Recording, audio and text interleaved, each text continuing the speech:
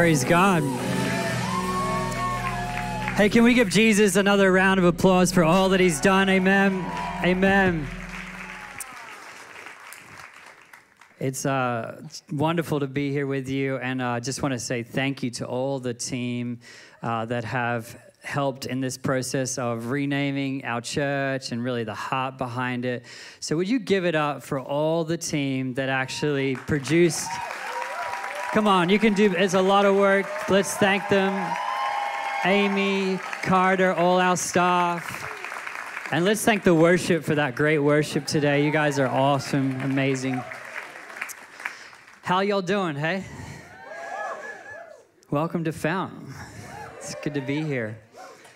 I get the honor of uh, sharing a word with you as we enter into this new season and celebrating 10 years, but really dedicating the next uh, decade to Him. And uh, we're, we're so thankful that the Lord opened the heavens and we literally walked here in a fount. uh, yeah, good, good dad jokes. That's good. Showing my age. Um, but uh, before I get into the word, would we stand to our feet? And I want, I know you connected already, but there's more people you can connect with, and th- there is a lot of people here. And I love fellowship. I love connection. So find uh, one person and let them know when when did you come along to C3. If it's your first time, if it's your first time, then you can let them know. But tell them when you came along to C3. Now Fount. Go go say hi.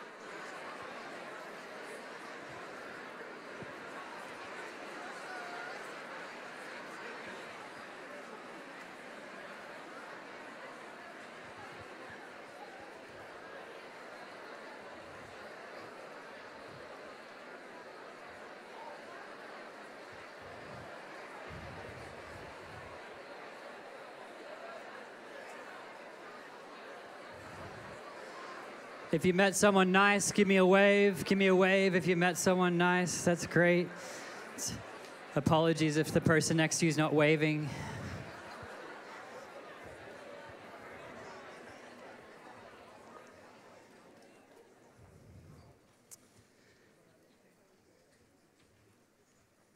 My wife woke up at, I think it was around 4 a.m., and we'd been praying and talking and just feeling like, okay, Lord, you're, you've got a, a new name for us. And we couldn't land on anything. Just a few, few times we were like close with some things. Um, but I don't know if the Lord woke her up or she was just up, but she started to research some old hymns, and this word popped up in these two hymns that we sung today, fount. And then I woke up about midday, and um, and the and she she told me the hey I think I think I've got the name. And she said Fount. And it immediately just hit my heart. And I was like that's it. That's it. Done. Cool. So we sent a text to the team and that was it. That was great. Um, but I just want to honor my wife because uh, without yeah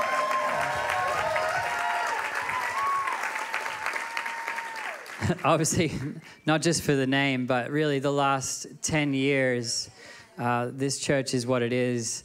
And just her sacrifice, her prayers, um, just her support of our family through some really up and down moments, dark times, good times, And uh, y- y- with, without, without her, that I wouldn't be here.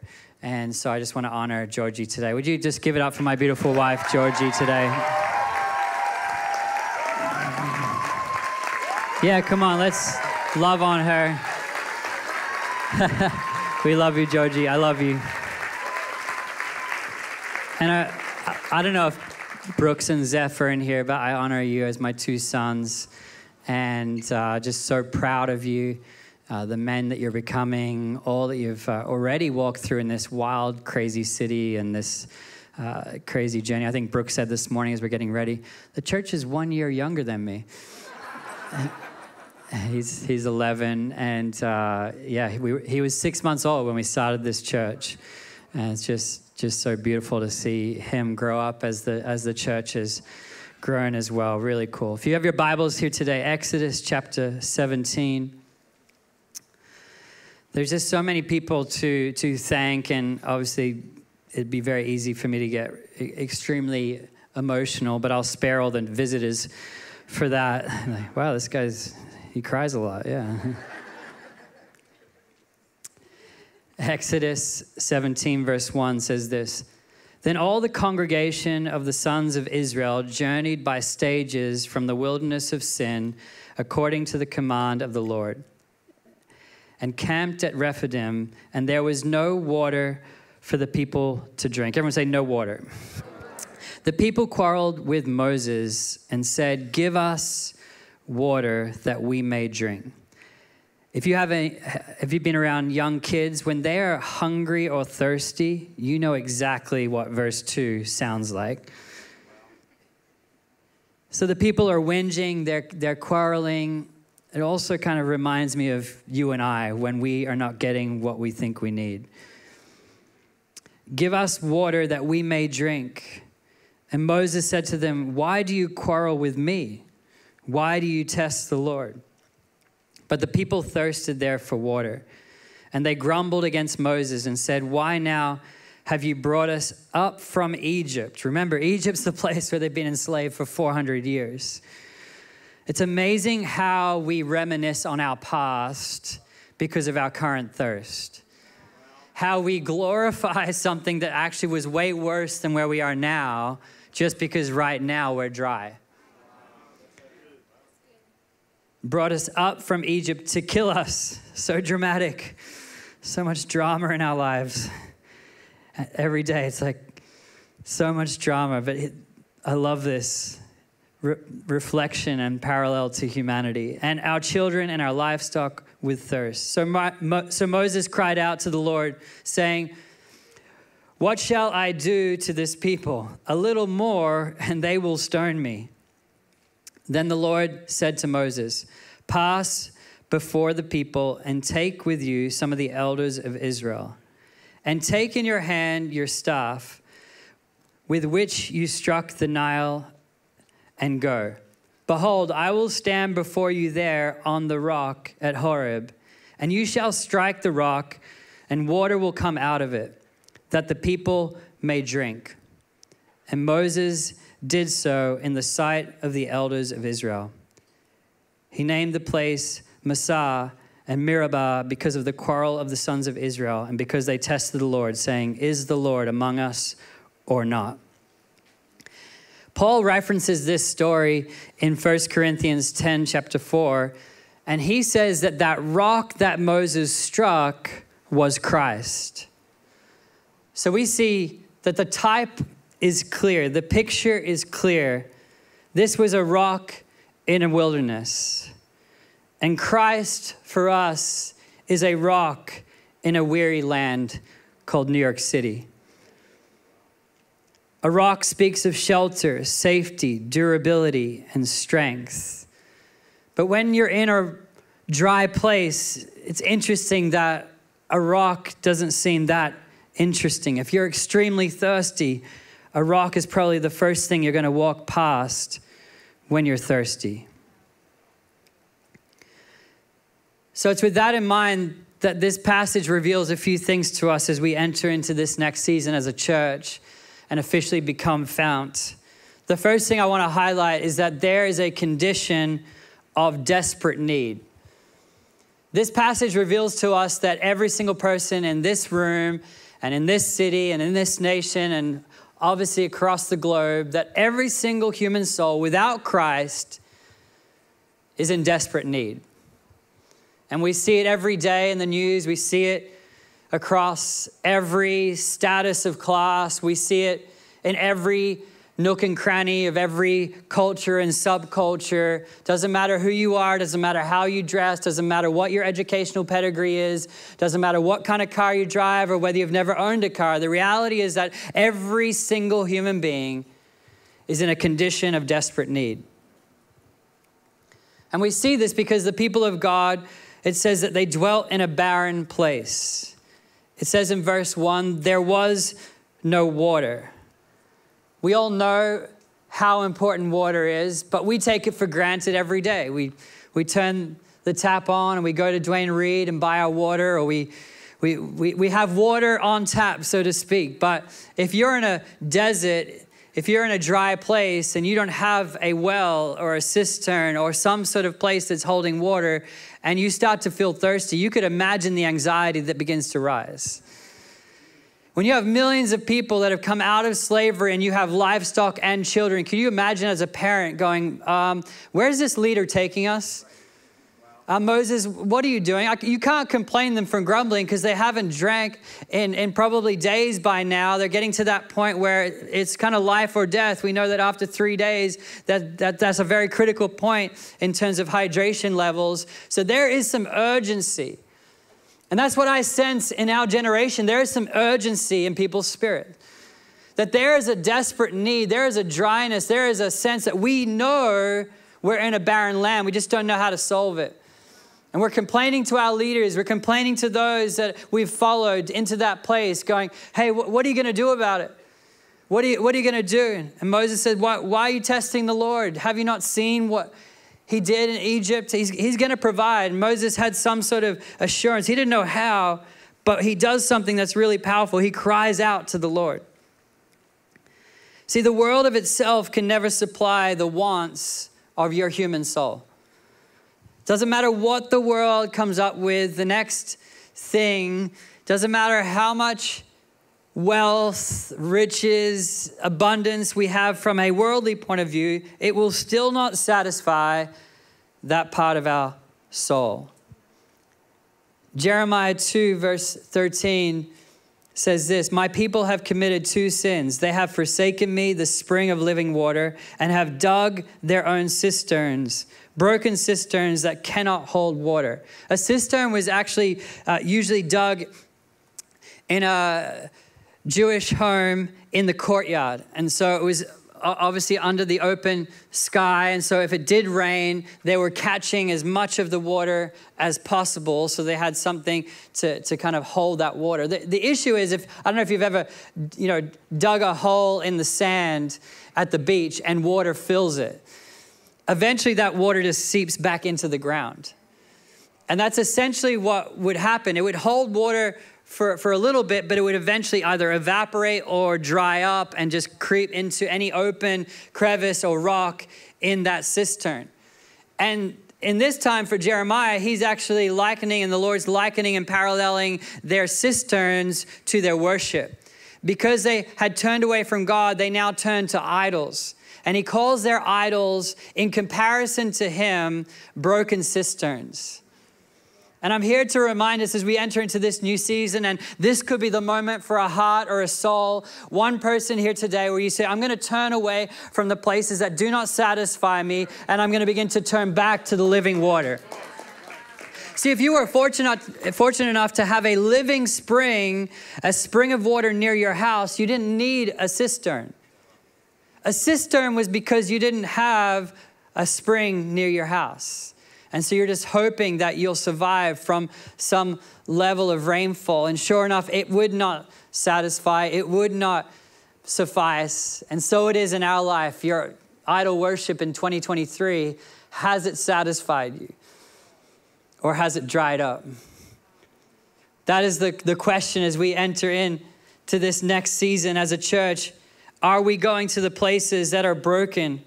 Cisterns that are broken, when we literally in front of us here today, by the presence of God, because of the sacrifice of Christ on the cross and the power of his resurrection, we now have access to the Holy Spirit, who is this spring of living water. He is available to each of us. See, in the chaos leading up to the French Revolution in 1789 to 99, many churches in France converted into, so these are Christian churches honoring Christ, turned into what they called temples of reason. People lifted up the goddess of reason to celebrate the new age of reason in place of the fading age of faith.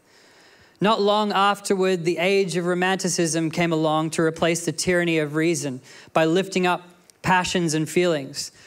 So the church went from faith in Christ, and obviously it wasn't just an immediate switch, but, but slid into a place because they weren't really uh, being satisfied in Christ, they were being satisfied in the form, a form of godliness, in ritual, in the sense of religion versus the person of Christ.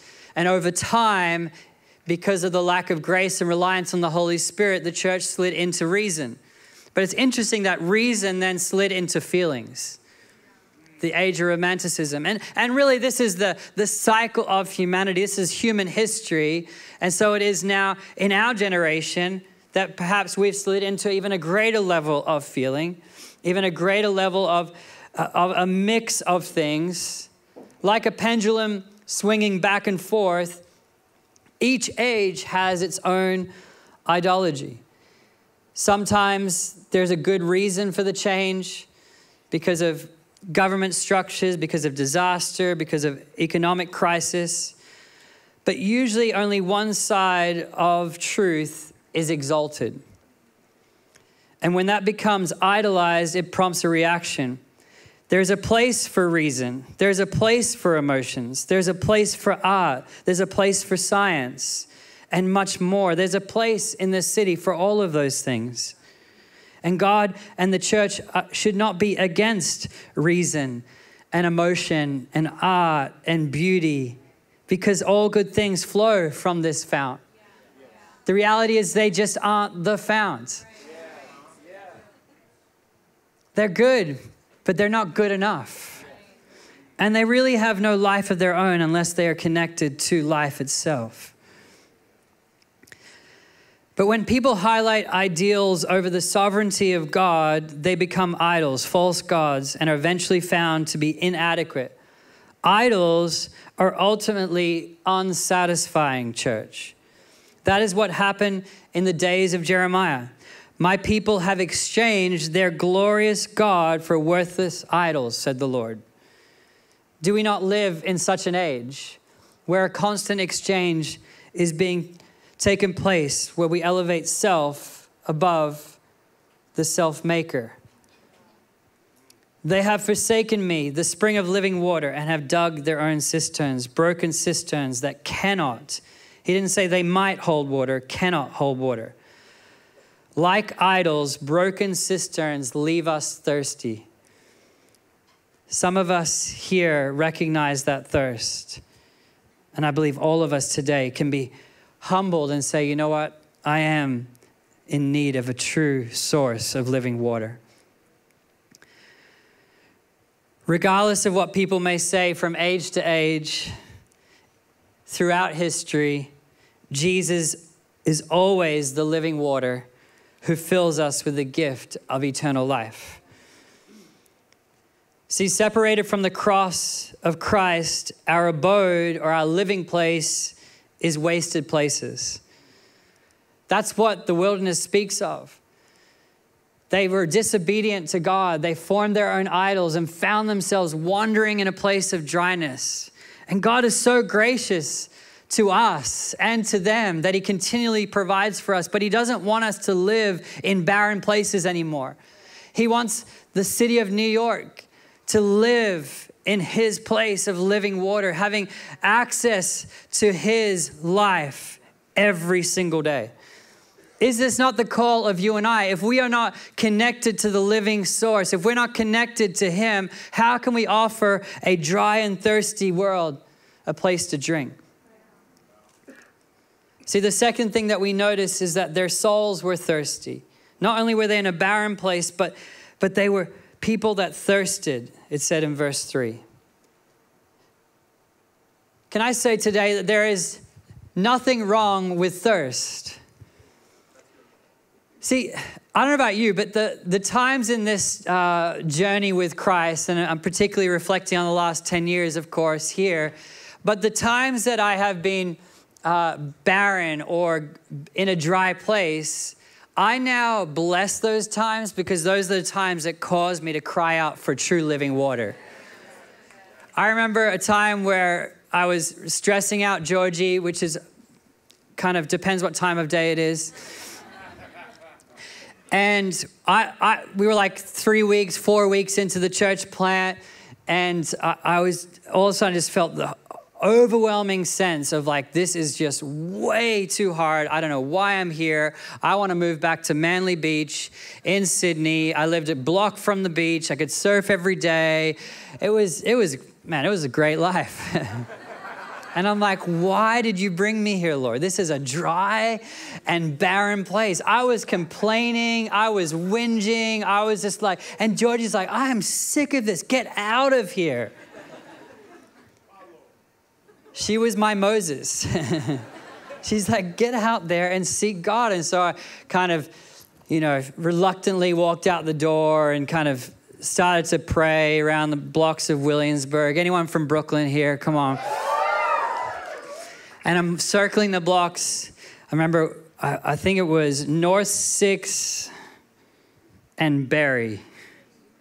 That's holy ground if you ever want to walk past there.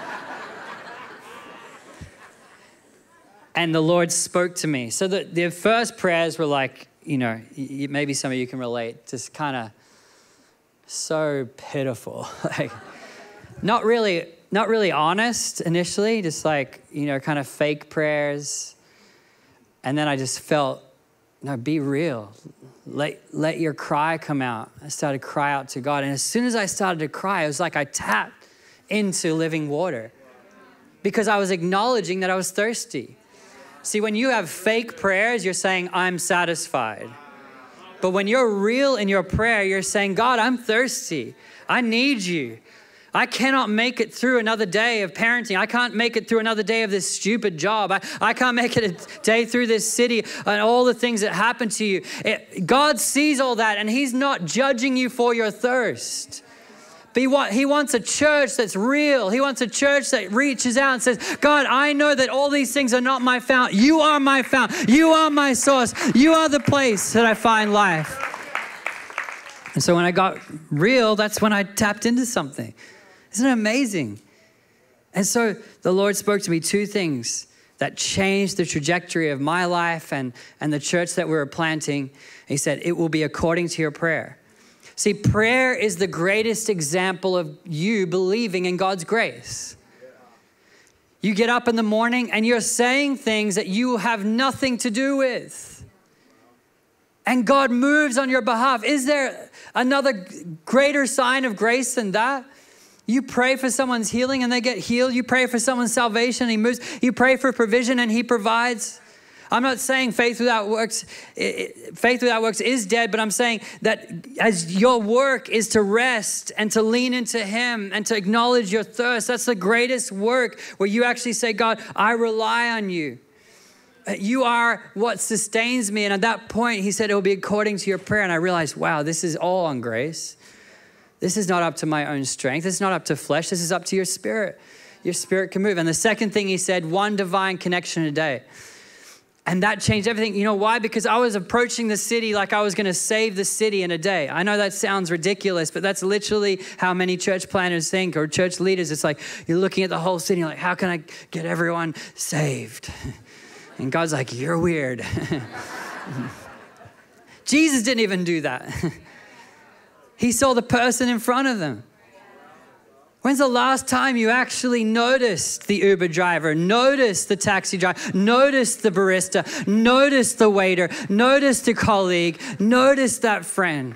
And stop getting in your head about what they're gonna say to you or what they're gonna notice about you and actually be present enough to actually give them living water. See, presence is the greatest sign that your thirst has been satisfied. If you're thirsty, you're, you're just, oh, you can't think about anyone else because you're thirsty. I just got to get water. But once you tap into Christ, your thirst is satisfied. Now you can be a living well for others. When you're self focused, that is a great sign of thirst. Remember that. And don't be judged by that, but realize I've got to connect to Christ. Because self is like a dry cistern with no water and digging deeper as if you're going to hit water. There, there's no spring there, it's only in Christ. And so he said, one divine connection a day. And I want to reclaim that. Imagine every single person in this room said, you know what, I just want to have one present moment where I can share about Jesus being my fount, or pay for their coffee, or invite them to church, or pray for healing. Imagine if we all just said one a day. And that's what began to happen. I realized over 365 days, that's 365 people personally that I can impact. That's a great church.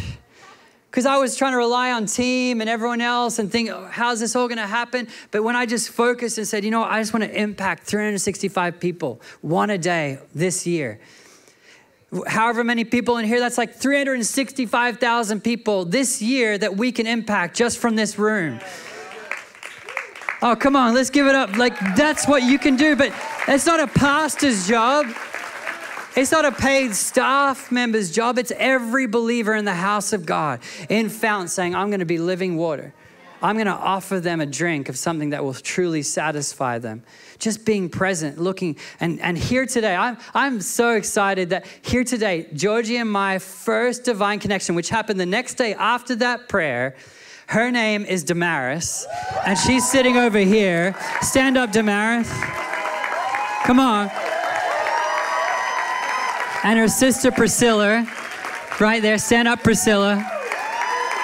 Amazing family. We honor you guys today. They have been with us from the beginning. But I love telling that story because through this amazing family, I think we can trace like 500 people that found out, and probably more now, 500 people plus that came to church because of that first divine connection. See, I could have done it in my own strength, but one moment of being present ended up turning that whole situation around. And then Damaris began to reach Brooklyn. but can you see the grace of it? You could try and reach everyone. You can try and, you know, build the business of your dream. You could try to do all these different things, but God has a plan. God has a way. And God wants you to follow his ways today, and you'll, you'll discover the miracle power of faith as you place your trust in Jesus. They were thirsty, and I was thirsty in that prayer moment, and I was satisfied by those two words.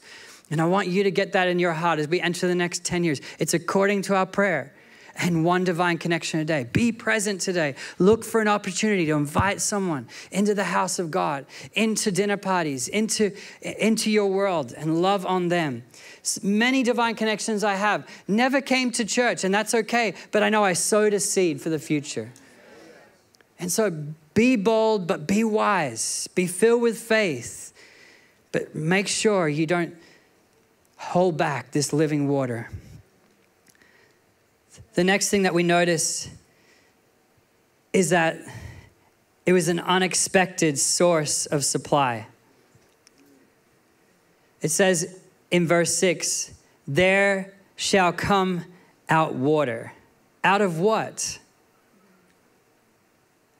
You think about it. You're walking around a desert, everyone's thirsty, it's dry, sandy, and there's this like this rock. If, if there's anything that you're going to think, okay, that's where our answer is going to be, it's not there. It's not, it's not from a dry rock. I've never opened up a rock and I found water. I used to, you know, those quartz rocks, I used to hammer them just to see the cool, I thought it was like really valuable crystals. And, but I never found water once. See, Worldly wisdom could not, by any amount of searching, find out this method. There's, there's no amount of human wisdom would say, okay, well, we've got, all, we've got millions of people thirsty. Let's hit this rock. I, I want you to catch this today. See, if we're going to try and satisfy our thirst and we think by our genius or our earthly wisdom or by following other earthly leaders that somehow they're going to lead us to a place that's truly going to satisfy us, we'll be sorely mistaken. I, I, I love, you know, listening to all the podcasts and, and hearing all these amazing uh, minds that God created and, and, and hearing from them. But unless these people are actually ultimately leading us to the rock of Christ, we will find ourselves thirsty. It doesn't matter how high the wisdom level is, it may help us in certain areas, but it's not going to help us in the area of our soul. So I'm not discrediting there is a there is a place for earthly wisdom. It's just not for our soul, in the sense of it's not going to satisfy our heart. And and if we do that, we'll find us find ourselves in a position where we're always disappointed. We move on to the next job. We move on to the next get rich thing. We get, move on to the next person. We move on to the next date. Why? Because we're thinking that this one, this thing, this level of wisdom is going to satisfy. And there's no way the people of God said, this had to come from God. It, it came from a rock. John 1 46, can any good thing come out of Nazareth? See, people did not see Jesus as the answer. It's like, how, how could this carpenter's boy be the, be the answer? Isaiah 55, verse 8 says, My ways are not as your ways, says the Lord. Constantly in Scripture, we see the, the, the, the prophecies and the foreshadowing of Christ was that people were going to overlook him. And so it is true today that there, there is this interesting thing where either the rock of Christ will be your stumbling block or it will be your fountain. There is no middle ground with Christ. Either he's everything for your soul or he's actually nothing as in you actually trip over him. He's a stumbling block to those who are not believing. He is this rock that we walk past. He is, see, people may not take notice to this gathering today. They didn't take notice when we're in a dinner party, but those that were thirsty and those that heard the invite and those that saw my stupid business card with dinner party on it and said, Yes, I've seen their life come alive in the source of Jesus Christ. Just because people walk past the church, just because people do not say yes to Jesus, does not mean it is not satisfying for you. It's really important that you stop looking at where the world's running and think that you haven't found it yet. How many believers are living like through their screen or through their their, their, their, their view of the world thinking, maybe I've missed it. I'm telling you today, the people of God here under Moses, as they saw this water flow out of a rock, they, had, they didn't have to go anywhere else. They'd found their source. They've found their fountain. They've found what they're looking for. Jesus is this unlimited, amazing source, and it came out of an unexpected place. It came from a God possessed rock. That's wild to me. He says, I will stand upon the rock. Pause and think of this. How suggestive is this of the incarnation of Christ? It's a foreshadowing of what Christ would do. That it was not the thought that God would save the world through the very thing that was fallen from God humanity. God put on flesh and dwelt amongst us. No one saw that coming. It was the rock you walked past in the desert. That God actually became like man who knew no sin to then deliver the whole world. And still people walk past him, but yet there's a living water flowing from this rock. See, 2 Corinthians 5:19 says God was in Christ. God was in that rock, foreshadowing what was to come. God was in human, human form. namely that God was in Christ reconciling the world to himself, not counting their trespasses against them, and he has committed to us the word of reconciliation. See, the rock in and of itself could do nothing. I want you to catch this today, church, front to back, left to right. The rock could do nothing in and of itself. That's what Jesus is talking about. Apart from me, you can do nothing. See, humanity is a rock. Humanity is, is not the answer to humanity. It's just a rock. Oh, we're really thirsty. Oh, let's look to Elon Musk. Oh, we're really thirsty. Let's look to the president. Oh, we're really thirsty. Let's look to the celebrity. Oh, I'm really thirsty. Let's look to this person. Even your family. Oh, I'm really thirsty. My family will solve it. Oh, I'm really thirsty. My kids. Apart from Christ, we can do nothing. It's all just dry rocks in a barren land until we realize it's God in humanity who dwelt amongst us, who is actually now the source of living water flowing into every life. Humanity is not the answer for humanity, only God is the answer to humanity's deep issues.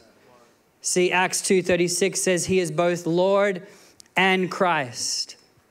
He is the answer. Now, how did how did the water come out of this?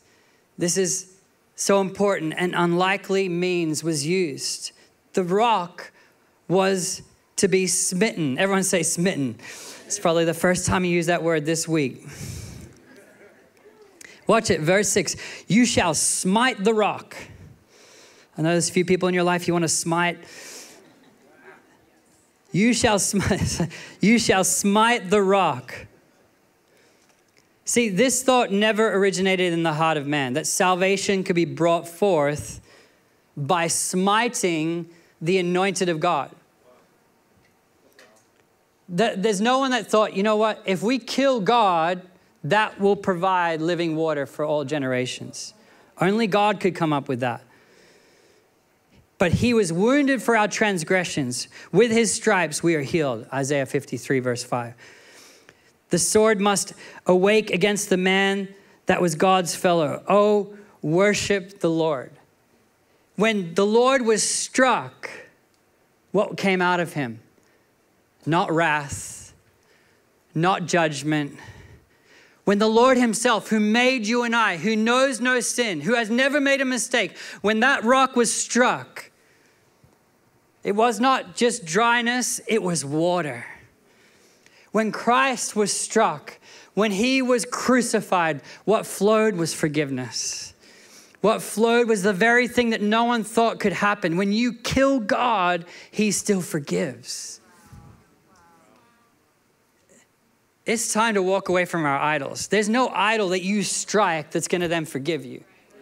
There's no person that you strike and then they're gonna flow with living water. Only Christ, only Jesus is the answer. See, the rock was to be smitten with a rod. It says, Your rod with which you smote the river, take in your hand. See, he, he was in Egypt and he, the rod went into the water and turned it to blood. What does this speak of? It says that this, as he hit the rock, the judgment did not fall on us, it fell on himself. He took on the judgment that you and I deserve. This is, this is the answer to your shame and your guilt. This is the answer to your condemnation. This is the answer to all your past mistakes. All of it has fallen upon Christ. Today, you can walk out of here free and forgiven and abundant in life. Oh, come on, church. You are free and forgiven in Christ.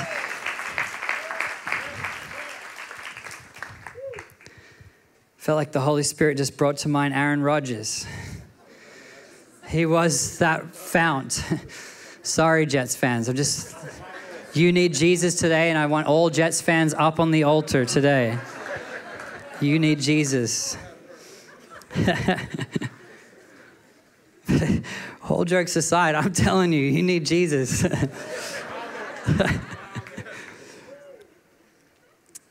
last, last two thoughts here.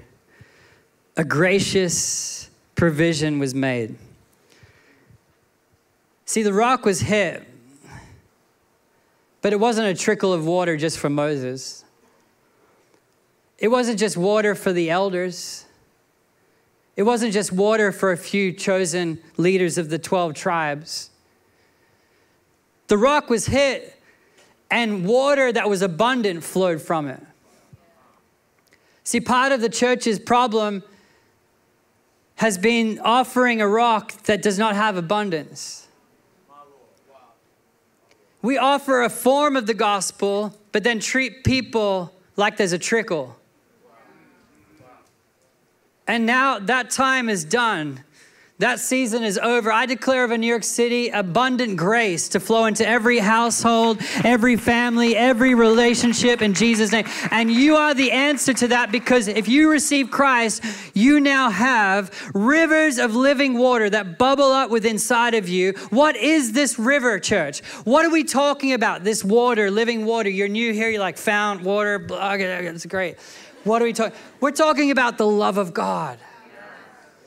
The soul needs love. Your heart needs to be loved. That's all the, the problems in all of our life are because we look for love in the wrong place. And I'm here to tell you that the one that did not deserve it was struck, and it was not a trickle, but rather water flowed out of it, abundant supply for millions of people, and it did not stop flowing. And here today, you can be guaranteed if your faith is in Christ, the one who was struck for you, the one that died for you, the, the one that was buried for you, the one that rose again for you, has an abundant supply of, of forgiveness, of living water, and now gives you access into the Holy Spirit. The supply was abundant. But not only was it abundant from the rock, no one set up a little merch stand and started charging for the water at the rock. It was a free supply. It was a free supply. Your forgiveness costs you nothing, but costs him everything. And just because it costs someone so much, don't devalue the cost. Just because grace is free, just because forgiveness is free, don't minimize the most important thing that will ever happen for the human soul that you now have eternal life and can live with this hope that's an anchor to your soul that carries you into everlasting life. His name is Jesus. But just because it costs you nothing, don't forget the cost of Jesus Christ. So often we don't drink from this well because we love drinking from wells that cost us. We love drinking from places that we earned. We love drinking from our own wealth. We love drinking from our own fame and success, thinking that it will satisfy us. Why? Because we had something to do with it. That's the trick of grace. it's the, the mystery of the gospel is that we had nothing to do with it, but it's so often this rock that we bypass. It's so often the place that we don't go because it had nothing to do with our effort. Today, all those things that you're achieving, no one's belittling them. All I'm saying is it will not save you. Stop pretending that your job, your career, your dream will save you. Stop pretending that someone else in your life will save you. The only one that can save you is the one that was struck. See, church, the rock became a fount, and the fount is now available for all of humankind. If you want to receive Jesus Christ, if you want to receive Him today, it is an abundant supply and it is a free supply. I love this. Isaiah 55, verse 1. He, everyone that thirsts, come to you without money and without price. Just come as you are today. Literally, just come as you are and drink of who He is. If you've been in church your whole life, just come as you are. So often we're trying to purchase God's love because we're serving. So often we're trying to purchase God's love because we have a pedigree of people that went before us that were Christian. None of that is why we drink from Him. We drink from Him because we're thirsty. And so many people that have grown up in church are so thirsty because they haven't really drunk from Christ. They're relying on their parents' faith. They're relying on their heritage. They're relying on the fact that they went to Bible college. None of that means we're drinking from Christ. Today's the day that matters. Today's the day that matters. If you've fallen away from God, today you can come back and drink from Him. If you've never said yes to Jesus and you're trying to find yourself, you're trying to drink from broken cisterns, you're trying to find yourself in idols and all the things of this world, let me tell you, you're just like these Israelites. You're just like me as we're wandering around the desert looking and complaining about our thirst. This rock is struck and water flows out of it. It's a miracle called Christ. And today you can receive the free, abundant supply of grace and love, everything your heart is looking for. Will you bow your heads, close your eyes here as we do the most important thing of today is that every heart has an opportunity to come back to living water. Every heart has an opportunity to come back to the fount who is Christ. As we start this new season, let's recommit our lives or say yes to Him for the first time. I believe today is so important. With everyone praying, I want you to ask your heart this question and humble yourself today Am I drinking?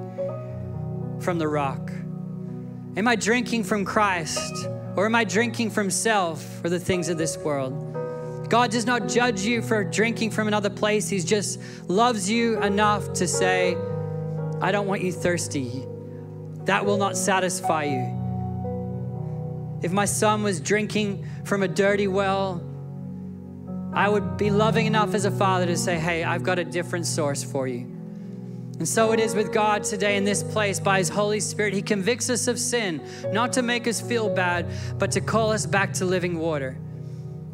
My job is not to convict you of sin, it's the Holy Spirit's job. But if you know you're not living right with the Lord today, start afresh with Him and come back to the fount.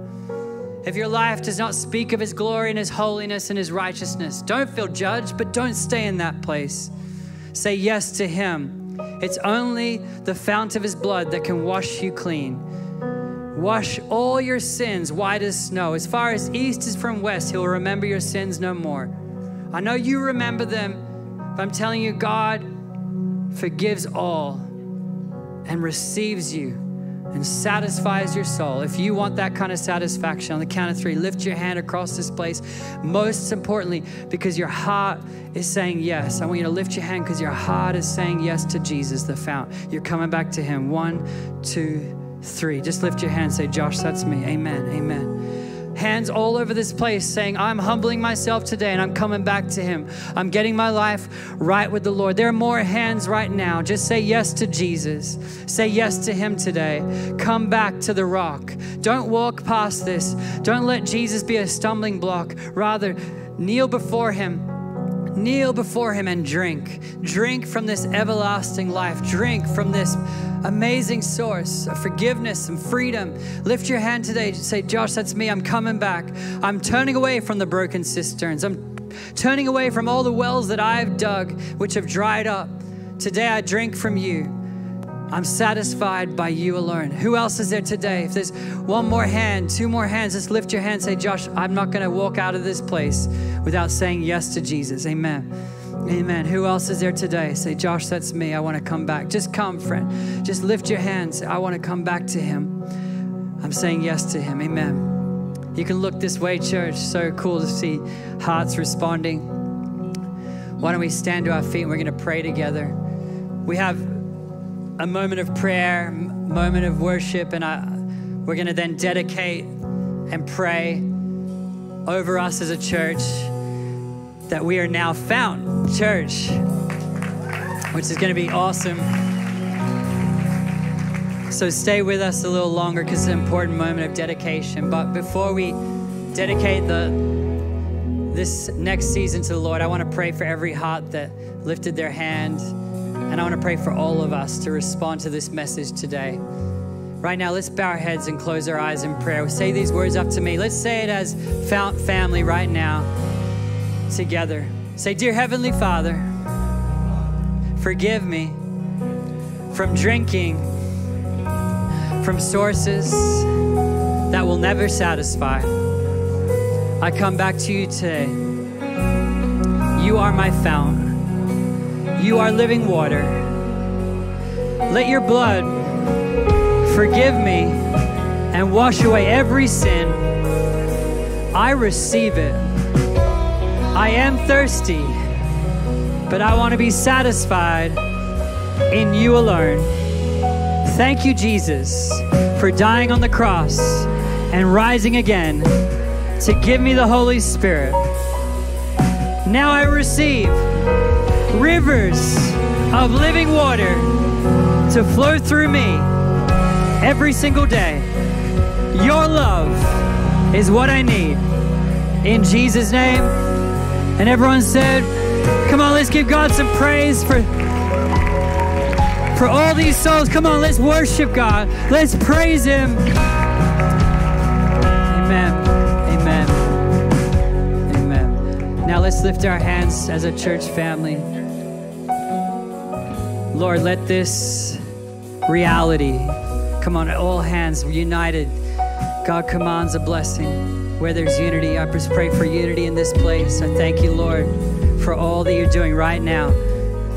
God, Yes, for those that receive Christ, but for all of us that have our faith in you, we just pray right now for a reconnection to the Holy Spirit through Christ. I thank you, Lord, that the Holy Spirit would bubble up inside of us. Lord, that we begin to pray again. God, we begin to devote ourselves to the Word of God again. A new hunger for the well, a new hunger for living water every morning, every day, not just on Sundays, but every single day at dinner parties, all the way through to Sundays. We thank you, Lord, every location, every place will be filled with living water because the believers are alive. We thank you, Lord, we are satisfied in you alone. Thank you, Jesus. Amen. Amen. Come on, let's sing this chorus. Come on.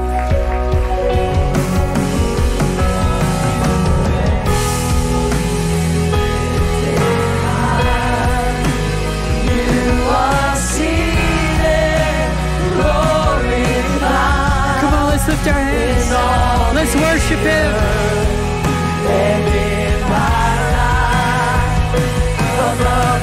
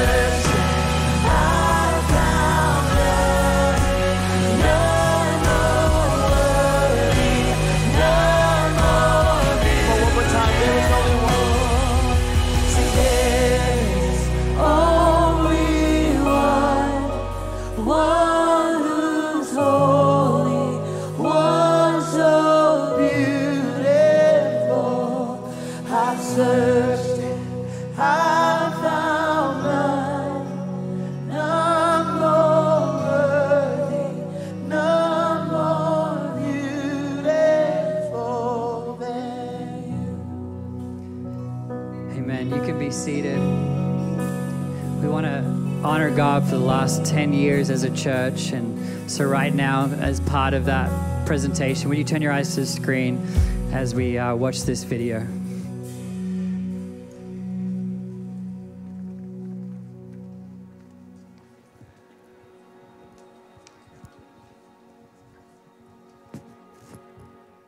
The church is about people encountering Christ. It's about God's powerful, transformative love entering our lives and filling us with new life, truth, grace, and freedom. Over the past 10 years as a church, we have seen God do what only God can do, time and time again. We have seen the miracle of salvation, eyes being open to who God is, and entering into new relationship with Him. We have seen the miracle of healing, both physical and emotional. We've heard countless testimonies of God's transformative healing power. We have seen marriages formed, children birthed, families established. We have seen personal goals and dreams become reality as God brings vision and strategy in answered prayer. We have seen miracles of provision amidst dire situations. We have seen relationships healed and reconciled. We have seen voices of prayer rise in godly conviction, standing in the gap for our city and its future. We have seen strangers become friends and friends become family. The church is God's miraculous, alive body, His Spirit working in us, His blood sanctifying us, His truth enlightening us. There are too many stories to tell, but they remain forever in our heart, stirring us to faith as we recall the great things He has done.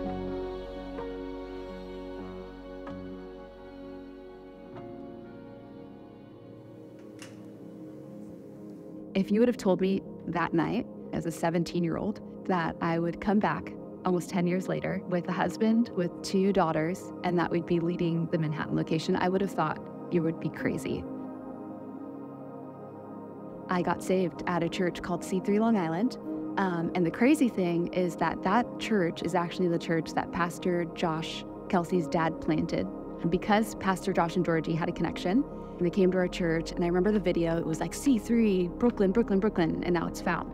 But Pastor Josh and Georgie came up and they got to share the vision of the church. And they said, hey, we're coming um, and we're planting this church in the heart of Brooklyn. And I was like, I just want to be there. So I remember showing up to um, the first dinner party. It was in Brooklyn. We had dinner together, then we got to pray over the vision of the church.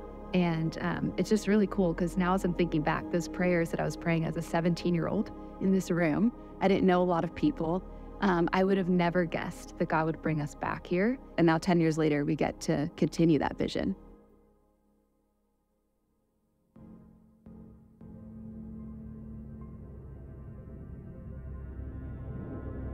And because I just started working on Sundays, um, my whole concept was that as long as my wife and kids were in a safe space, I was fine for them to venture on their own until I get my bare means with work I think it was Eleanor and Liam. They say, hey, why doesn't dad come to church?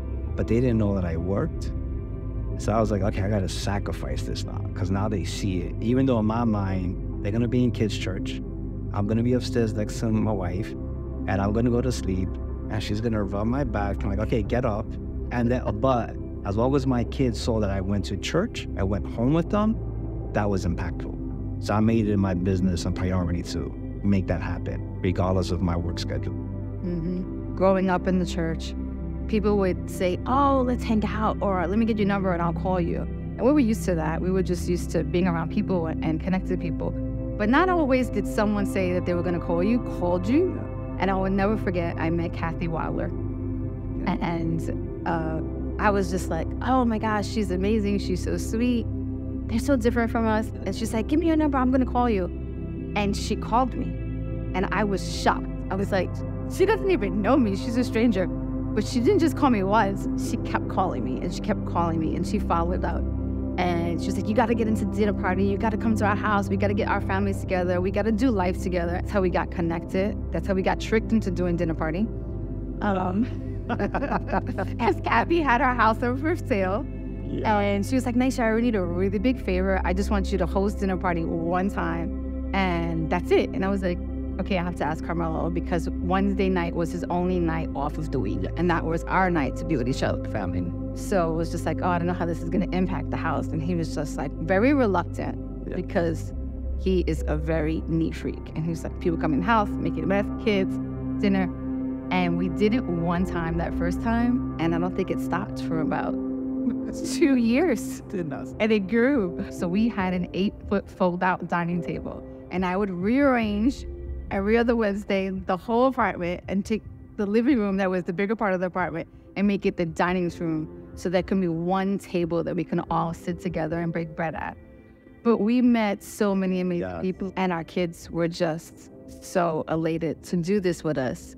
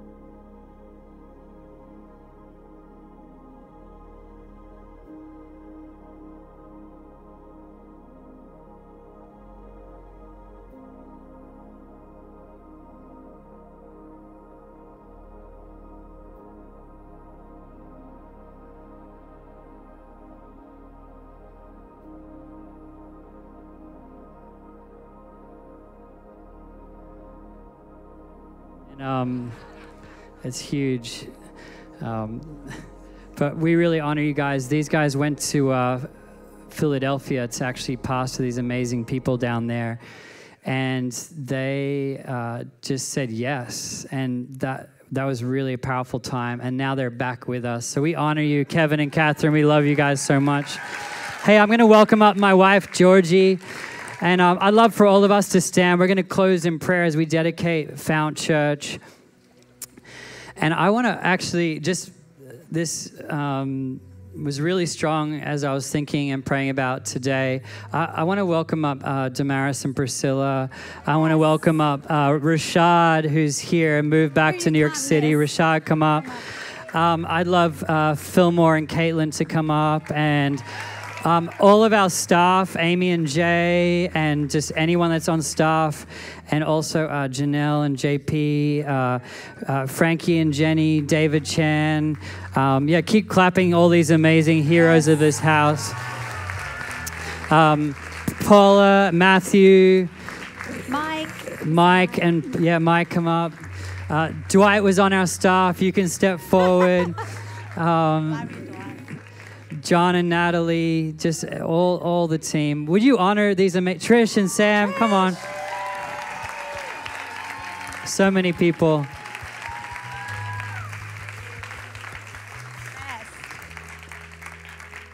Incredible. So good. And so we want to, as a, a amazing, you guys can squeeze together the red, the Red Sea. um, I thought it'd be cool to have all these incredible people because you guys represent also David and Tamika. Is Tamika here? She's probably looking after little ones. But if Tamika, right. Tamika, come. Oh, you got baby. Yes. Can you go that way? Rashad, make sure she doesn't. Awesome. Come on, give Tamika amazing hand. Worship, worship leader, mom of three. But yeah, these guys represent so many lives that have been changed because it's through them shepherding, pastoring, believing. And then also, if you're a dinner party leader, would you give us a wave right now? Come on, we honor you guys. Come on. If you're on Dream Team, would you give us a wave? You volunteer, amazing. So cool. So, right now, as a family, we want to reach out our hands to God and we want to dedicate and say thanks to God for 10 years, but now officially Fount Church. What a beautiful moment to do it. Let's lift our hearts to Him. And, uh, Georgie, let's pray together. Amen. Thank you, Lord. God, we thank you for today, that this is the day that you've made, Lord. And we thank you for the past 10 years, God, for all that you've done, Father. And we thank you that it was your yes, Father. Your yes to the greatest sacrifice of all, all of human history, Father. To send your son to die on a cross so that we could know Jesus, so that we could have new life in Christ. It's your yes, your sacrifice, Father, that's the reason we're here, Lord. So we thank you for the privilege of building your church on the earth, God. We thank you for the honor it is to be part of impacting people's lives for eternity, God. I thank you for every uh, staff member now and in the past, Lord. Every dinner party leader, every team member, every giver, Lord. Every person who has served in the dark back room making something happen, Lord, with a video or with kids' church, Father. God, you know everyone's name. You know every moment, Lord. You see it all, Father. And Lord, God, we just, I just pray your blessing upon every person who has sowed into this house to make it what it is, Father. I thank you, Jesus, that that seed is growing into a mighty tree, Lord. Yes, Lord. And I thank you, Father, that it is just the beginning of all you're going to do, Yes, Lord. Lord. So we just thank you, Lord, for partnering with us, God, for wanting to partner with us, Lord, for to inviting us into your plan, God. it is such a privilege and an honor, God. We say it's an honor to serve you, Jesus. We thank you for your grace that goes before us, Lord, your faithfulness to us. God, we thank you for the answered prayers, Lord, for the miracles we've seen, God, for the families we've seen reunited, God, for the forgiveness that's flowed in this house, God, because of your blood, Jesus. We thank you, Jesus, for that, Lord. And we thank you for the future, God. That this is just a drop in the bucket of what you're going to do in our city and in our church, Lord. God, we pray for those that don't know you, Jesus, that are going to come to know you, Jesus, through this house, God, in New York, in Berlin, in Paris. God, the ones that you know their names, Lord, we don't even know their faces or their names, Lord. We pray for them right now, God. We thank you for the children that are going to be raised in the house of God that haven't yet stepped foot in your church, God.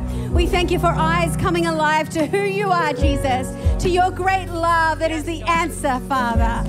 God, we look away just from ourselves, God. We look up, God. We lift our eyes to the harvest, God. We, God, we say, yes, we'll look out. We'll reach our hands out. We'll see the need, Father.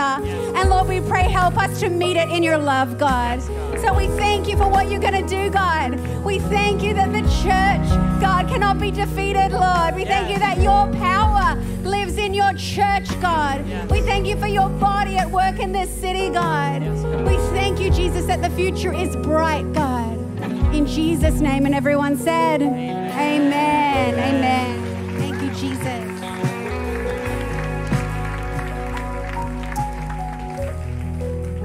If you'd be so bold, just to put your hand on your neighbor's shoulder, I want you to pray for the individual next to you. Remember being present. Right now, you have living water and you can just speak life, speak the love of God over them. So let's pray for the person on the right or the left of us right now. Lord, we thank you for each and every heart, each and every soul matters in this place. Whatever they need right now, if it's physical healing, emotional healing, spiritual healing, God, what, whatever they need provided right now, we believe that you are the fount, that they would look to you, Jesus, that you are the source that they're looking for. We thank you, Jesus, right now. If there's discouragement, courage would rise. If there's insecurity, confidence would come in Jesus' name. Lord, if there's despair, we thank you for hope. Lord, if there's depression, we thank you for joy. Thank you, Lord, for what everyone needs in here comes from you, Lord. God, you are the bread of life and you are the source of life. You are more than what we're looking for. Your love is beyond the skies, Lord. It's beyond comprehension. So, right now, by the power of the Holy Spirit, I pray for a greater level of your love to pour into every heart right now. Thank you, Jesus, right now for forgiveness to flow into every life, into every marriage and relationship. We thank you, Jesus, that today marks a line in the sand, that we cross over into being the fount, into being people of God that have the rivers of life, rivers of living water by your Holy Spirit. Right now, I pray for a prayer language to rise up. Lord, for people in the gifts of the Spirit to rise up. We thank you for the fruit of the Spirit to rise up because we are connected and tapped into into your source and your water. We thank you, Lord, we be trees planted by streams of living water, bearing fruit in and out of season in Jesus' name. We thank you for this church and all the people that are represented in this, in this moment and in this room. We thank you, Lord, their families would be blessed. Those that don't know the Lord in their world, that they've been praying for salvation, they would come to know you, Jesus. Some this week, maybe some in a year, but Lord, you, by your grace, would touch their families and their kids and their relatives and their friends with the love of Christ. Help us to be unashamed of the gospel, for it's the power of God for the salvation of everyone who believes. You are the fount. Thank you, Lord. Help us to be this kind of church in Jesus' name. And everyone said, Amen. Come on, let's give God some more praise. Come on. Come on. Let's worship Him. Let's glorify Him. Thank you, Jesus. Thank you, Lord. Thank you, Lord. You, Lord. Amen. Amen. So, a few updates as we close. Make sure you get your ticket for Vision Builders this Friday. It's going to be unbelievable. It's worth the investment of both time and effort to be there. And you won't be sorry because we're going to head into a new season of Vision and we get to actually partake being a part of the people that make that building happen. So this Friday, we'll see you there. And next Sunday, back to Manhattan and Brooklyn venues.